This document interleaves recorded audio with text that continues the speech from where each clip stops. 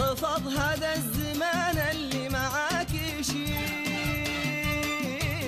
إذا كما أشار وزير الصحة مشاهدينا الوضع مقلق يتطلب منا جميعا أن نساهم أيضا في ذلك من خلال اتباعنا مختلف الإجراءات الصحية والوقائية في مختلف مسارات حياتنا آه، اليومية والاجتماعية وأيضا آه، المهنية. أيضا في برنامجكم من عمان نواكب مستجدات آه، الوطن من خلال محطاتنا الحوارية. نبدأها بحديث عن جائزة الجمعية الاقتصادية للأبحاث آه، الاقتصادية من المؤمل أن تساهم في إثراء المشهد الاقتصادي من خلال مشاريع دراسية وأبحاث علمية. تفاصيل برفقة ضيفتنا الكريمة. نرحب باسمكم مشاهدينا بنائبة الرئيس للبحوث الاقتصادية بالشركة العمانية العالمية للتنمية والاستثمار دكتورة شمسة بنت مسعود الشيبانية. مساء الخير دكتورة ونرحب بك في برنامج من عمان. مساء النور مذيعتنا المتألقة وأرحب أيضا بأسرة البرنامج من عمان هذا البرنامج المتميز الذي يحمل البلد اسم البلد وأيضا أرحب بالمتابعين الكرام. يا هلا فيك دكتورة. يعني جاءت هذه الجائزة تأكيدا أيضا على الاهتمام السامي بالبحث العلمي والابتكار من خلال خطابات جلالته أكد على دور البحث العلمي في المراحل القادمة مرحلة نهضة عمان المتجددة. نبدأ بهذا الحديث. بالفعل لقد أولى المقام السامي لحضرة صاحب الجلالة السلطان هيثم بن طارق بن تيمور آل سعيد. آه، حفظه الله ورعاه آه، اهتماما بالغا بالبحث العلمي ويتجلى هذا في المرسوم السلطاني رقم 98 إلى آه، سنة 2020 حيث تم تعديل المسمى لوزارة التعليم العالي إلى وزارة التعليم العالي والبحث العلمي والابتكار. إيمانا من جلالته بأهمية البحث العلمي وبقدرات الشاب الشباب العماني الذي هم الثروة الحقيقية لهذا البلاد ويعول عليهم مستقبل آه، ورفعة وطننا وبإذن الله هم آه، سيستمرون مع النهضة المتجددة. يعني دكتورة أيضا الجائزة هي تتناغم مع رؤية عمان 2040 من خلال محاور مختلفة. نبرزها للمشاهد الكريم. بالفعل آه، رؤية عمان المستقبلية 2040 متميزة جدا لأنها تعتمد على محاور أربعة. المحور الأول هو المجتمع إن- إنسانه مبدع. المحور الثاني آه، الاقتصاد آه، بنيته يعني تنافسية. والمحور الثالث البيئة عناصرها يعني عناصرها آه، مستدامة وكذلك المحور الرابع وهو عن ال- الدولة أجهزتها مسؤولة.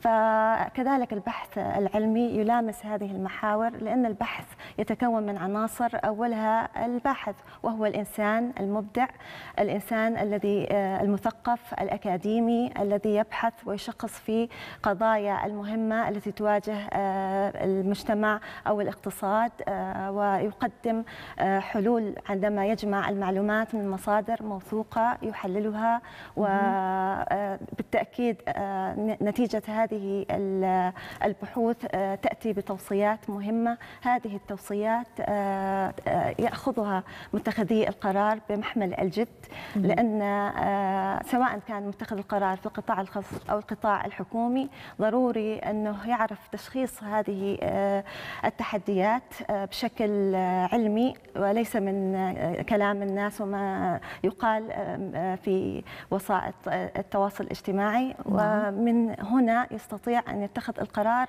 الذي إن شاء الله يكون مناسب لتقديم حلول لتحفيز الاقتصاد الوطني. ومن هنا جاءت جائزة الجمعية الاقتصادية لإثراء المشهد الاقتصادي بشكل عام. نبدأ نعرف المشاهد الكريم بهذه الجائزة وأهدافها المختلفة. طبعا الجمعية الاقتصادية العمانية دشنت آه، حفل في يوم الثلاثاء الماضي آه، برعاية آه، وزير الاقتصاد معالي الدكتور آه، سعيد بن محمد الصقري.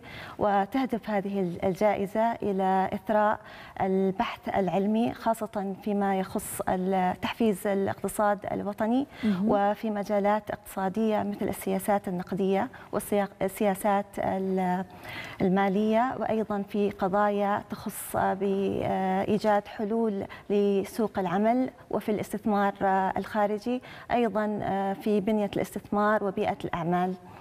آه، طبعا هذه الجائزة هي النسخة الأولى وإن شاء الله نأمل أن يشاركونا حملة البكالوريوس والدكتوراه والماجستير كذلك طلبة ال- الجامعات والكليات. نعم. يعني الفئات المستهدفة هو كل مهتم ومتخصص بالاقتصاد؟ آه، طبعا ومن حملة الشهادات العليا ولكن أيضا آه، ممكن البحث يكون على شكل فريق. آه، نشترط ال- المقدم أو الباحث الرئيسي هو من حملة الشهادات ومن حقه أن يختار من أعضاء فريقه من ينظر إليه قادر على جميل. البحث. نعم. يعني دكتورة يوم الثلاثاء تم تدشين الجائزة. نتحدث عن المراحل الزمنية التي تليها. نعم بدأت الفكرة في يناير 2021 ويوم الثلاثاء كما تفضلتي آه، تم تدشين هذه الجائزة وبإذن الله تعالى سيكون عندنا شهرين اللي هم أبريل ومايو. لاستلام المقترحات البحثية وعلى نهاية شهر مايو سيتم آه، الإعلان عن المقترحات المتأهلة ومن ثم آه، الباحث سيكون لديه ستة أشهر من شهر آه، يونيو إلى نهاية نوفمبر ليسلم البحث للجنة التي تقيم آه، هذه الجائزة. نعم. وفي ديسمبر آه، 2021 سيتم اختيار البحوث الفائزة ويناير 20 أو 22 سيتم الإعلان عن الفائزين بالجائزة في حفل تكريم آه، تدشنه الجمعية الاقتصادية العمانية. نعم. كيفية المشاركة؟ كيف يشارك؟ كيف يقدم المقترح بالنسبة للباحث والباحثين المشاركين أيضا؟ طبعا آه، لابد أن انه يستوفي الشروط. آه، وهذه الشروط أول شيء أن يكون آه، المقدم الطلب هو الباحث الرئيسي للبحث. وأن آه، يكون الموضوع فيما يخص آه، التحفيز الاقتصادي آه، في السلطنة. كذلك آه، نس- آه، نستقبل البحوث باللغتين إما اللغة العربية أو اللغة الإنجليزية. مهم. وأن يكون هذا البحث لم يتم نشره آه، بشكل جزئي أو كامل آه، في آه، أي من المجلات آه، المحكمة. وأن لا يكون قد تم آه، يعني استل من أطروحة الدكتوراه أو الماجستير أو حتى من مشروع بكالوريوس. لذلك آه، تؤول الملكية الفكرية للجمعية الاقتصادية العمانية ويحق للباحث الفائز بأن إذا أراد أن ينشر بحثه مستقبلا آه، ذلك ولكن بالتنسيق مع الجمعية. نعم. يعني أيضا من ينظر إلى قيمة الجائزة هي قيمة كبيرة. يعني محتواها المعنوي ناهيك عن المادي. نعم. نتحدث عن القيمة. بالنسبة آه، آه، الفئة آه، المستهدفة فئتين آه، للدكتوراه والماجستير الجائزة الأولى بقيمة 4000 ريال عماني. أما الجائزة الثانية بقيمة 3000 ريال عماني الفئة الثانية للبكالوريوس وطلبة الجامعات والكليات آه، الأولى آه، بمبلغ قدره 2000 ريال عماني والجائزة الثانية بمبلغ قدره 1000 ريال يعني المحصلة آه، كامل الجوائز آه، تقدر ب 10000 ريال عماني في مساهمة من القطاع الخاص دكتورة في هذه آه، الجائزة؟ بالتأكيد. آه، ولكن إلى الآن لا نستطيع أن نذكر الأسماء وإن شاء الله في وقت مناسب سنذكرها نعم. يعني آه، اليوم ما أهمية أن إشراك القطاع الخاص المبادرات البحثية أيضا؟ آه، القطاع الخاص له دور مهم يعني إذا نظرنا إلى الدول المتقدمة ولكن وضع يعني دوره في عمان لا زال متواضع. لذلك من من هنا في هذا ال- البرنامج أدعو الشركات الخاصة بضرورة آه، الاستثمار في البحث العلمي بالتعاون مع مراكز البحث والتطوير في الجامعات والكليات سواء كانت في داخل أو خارج عمان.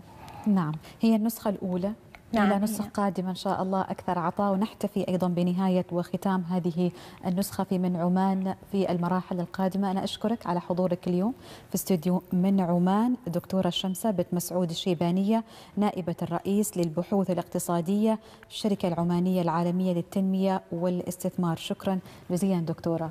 شكرا والشكر موصول لأسرة البرنامج والمتابعين الكرام ولأعضاء مجلس إدارة آه، الجمعية الاقتصادية العمانية لاختيارهم لي كعضو مقيم آه، لهذه الجائزة. تستحقين كل توفيق دكتورة. ونتواصل معكم مشاهدينا الأحبة في أمسية الليلة. من برنامجكم من عمان بعد الفاصل.